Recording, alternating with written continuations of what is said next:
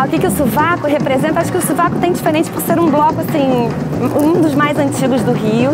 Acho que quem faz o bloco são pessoas, assim, é, pessoal mais antigo do Rio de Janeiro.